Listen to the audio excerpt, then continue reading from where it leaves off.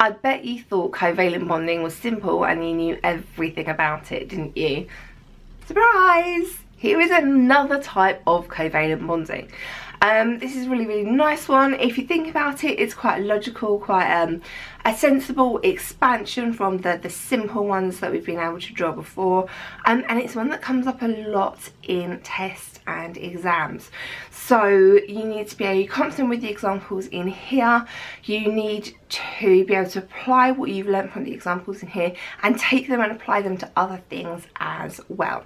So I really, this is one of my favourite videos. I really, really like this. It's really simple, it's really elegant, it's really logical. Good luck guys.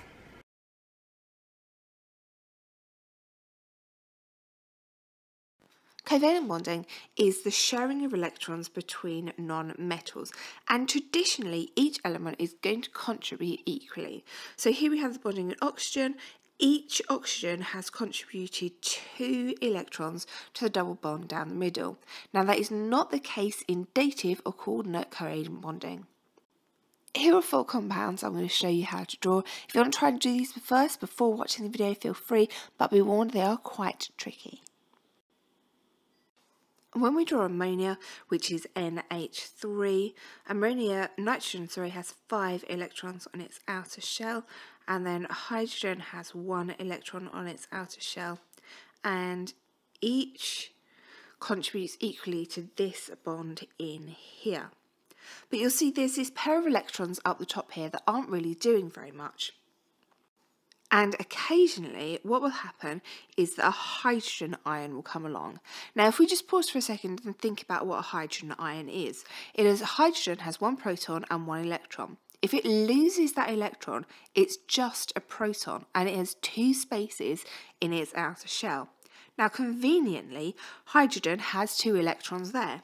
So now these two electrons can circle around this hydrogen quite happily it still has the positive charge because when it joined in the, the compound, it didn't bring any electrons with it. It was just a proton that was added on. So now this hydrogen didn't contribute any electrons to this bond here. They both came from the nitrogen, but now the hydrogen can use these electrons to circle around. And we draw this in a special way. We have our nitrogen, with its three um, traditional bonds connecting to the hydrogen and then we draw the last one with an arrow to indicate that um, the electrons in this bond came from the nitrogen and then we have our overall positive charge as well.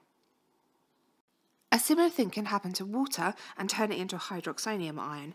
If we have again a hydrogen ion, a proton coming in, and seeing that spare pair of electrons that's hanging around the oxygen, either spare pair of electrons, this hydrogen which decides it would like some electrons, is just going to pop itself on there and become a hydroxonium ion.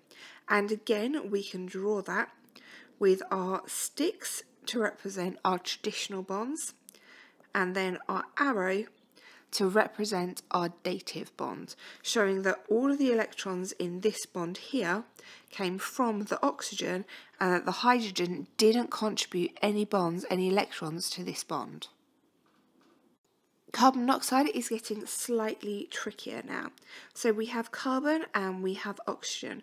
Carbon has four electrons on its outer shell and oxygen has six electrons on its outer shell. Carbon is going to donate two and keep two for itself and then oxygen is going to donate four electrons to the bonding in the middle and keep two for itself.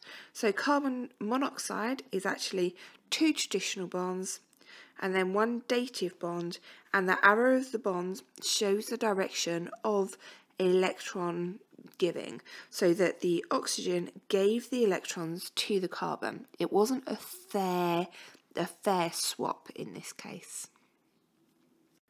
Our last one here, nitric acid, it is a nasty one, but if you want to take your chemistry studies further, we need to be able to cope with things like this. So we have hydrogen, oxygen, nitrogen, oxygen, and oxygen. Between the hydrogen and the oxygen, we are just going to have one bond. Oxygen has six electrons on its outer shell. It's just got a single bond between the nitrogen and the oxygen. And we'll do nitrogen with a little triangle. Um, and then nitrogen is going to form a double bond to this oxygen down here, where it's going to contribute two electrons two more to make up the five, um, and that's the five around oxygen. Now this oxygen down here, double bonds, we need four electrons in total. Oxygen has six electrons, but it wants eight. Now it has eight. Oxygen, this one over here, has six electrons, but it wants eight. So it's just going to tag on to these two spare electrons from the nitrogen, and that there is going to be our dative bond. So we can redraw that with the dative bond being shown in there like that. Um, that is a slightly tricky one to work out. Um, it is process of logic, it is process of trial and error sometimes, but I would expect you to be able to work out tricky ones.